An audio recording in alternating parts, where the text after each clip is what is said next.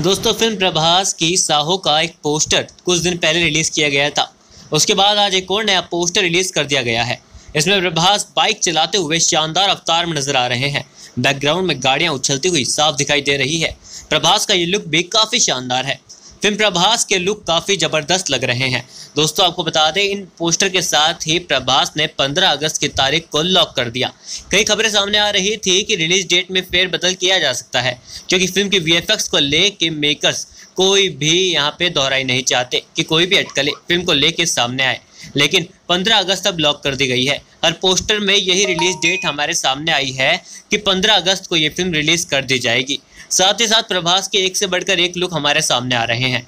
दोस्तों, आपको बता दें इनसे पहले दो मेकिंग वीडियोस भी प्रभास की इस फ़िल्म से सामने आई थी। एक में श्रद्धा कपूर को इंट्रो किया गया था तो दूसरे में प्रभास को इंट्रो किया गया था। दोस्तों, आपको बता दें कि फ़िल्म का बजट जो है 200 करोड़ से ऊपर का है।